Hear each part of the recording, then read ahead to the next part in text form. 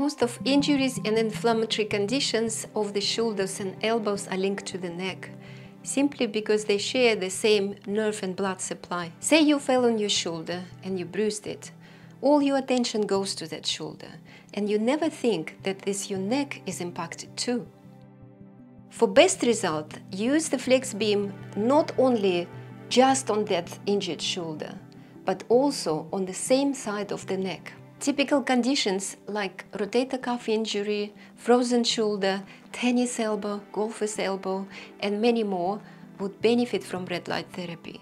It can assist you in your recovery by stimulating blood flow, reducing muscular spasm, and remodeling scar tissue. Choose preset 3 for targeting the shoulder or elbow, and preset 2 or 1 when applying to the neck. First, Target the FlexBeam on the area where you feel the issue.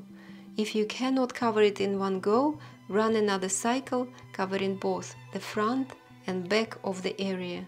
In addition, apply the FlexBeam to the corresponding side of the neck. Occasionally, place on the opposite side.